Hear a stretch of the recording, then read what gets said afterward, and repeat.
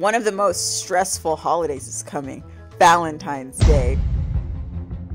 That means number one, you have to have a date. Number two, you have to go on the date and hopefully things go well. Number three, you have to bring a gift to your date. If you don't have a date, you don't have to worry about any of this. You can just watch the video and give it a thumbs up too. If you do have a date though, I'm gonna show you some DIY gifts that you can make for your date that are really cool and unique and also some hacks so that your Valentine's Day runs smoothly. Let's get started.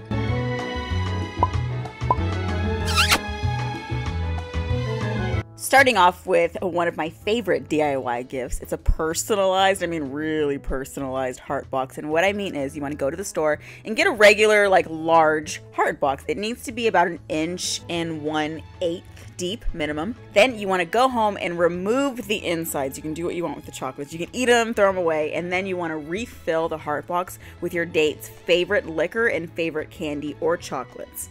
And when you're done, you can even add a cute little alcohol related poem in your card, and you have a fun, inexpensive, personalized gift that many people would be very thankful for. At least I would be. Now, speaking of Valentine's Day cards, if you're really bad at figuring out like what poem or what to even say in a card, next time you're going shopping for your card, grab some other cards that are around you, some funny ones, whatever, and you can actually take pictures of what's inside of those cards to give you an idea of what to write if you can't think of anything. You can either make it your own or you can just rip it off completely. I mean, it's not completely from your brain, but your date's not to notice, and it's the thought that counts, right? Right? Now, a cute and very personal gift that you can give is to get some iron on transfer paper. I got a pack for like eight bucks. Then you want to go ahead and create a little custom message on your computer, like I did. You can put whatever you want. I did a bunch of little flirty messages. And then you want to make sure that you print it out backwards because when you iron it on, it will iron on in the opposite direction.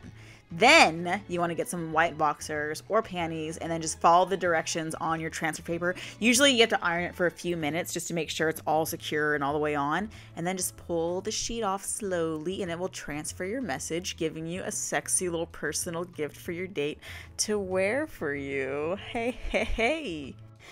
Now, a little tip if you and your date are going out to dinner first, then hanging out after, you may want to avoid ordering foods that are really high in fiber just for the night because after a couple hours, it can make you really gassy and uncomfortable. Unless you don't care, then hey, more power to you. I support that.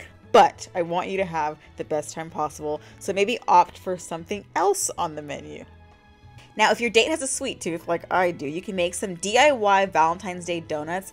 They could be pink, they could be the colors of their favorite football team, whatever you want. I went with traditional Valentine's Day colors. And I made cream cheese frosting because, hello, it's amazing. And all you need is a stick of cream cheese, some powdered sugar, and heavy whipping cream to make the donuts dippable.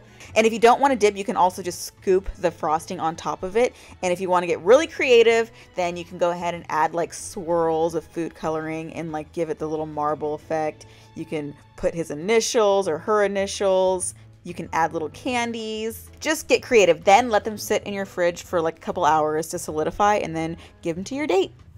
Now, if you're chilling with your Valentine's Day date and you're not sure if your breath is fresh or not, a little trick that you can do when you have a second alone is to lick the back of your hand and let it dry. Then smell. If it doesn't smell fresh, you may want to pop in some gum. If it does, then by all means, carry on.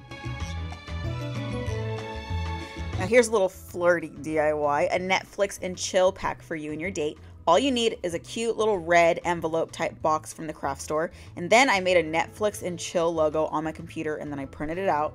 Afterwards, I just taped it on to the box with some gold glitter washi tape and I filled up the box with my date's favorite movie theater candy and some butter popcorn. Now, the last step is just to include a Netflix gift card or an Amazon video gift card, whatever your date prefers. Put that inside, and you have a perfect little movie night gift for you guys to chill to.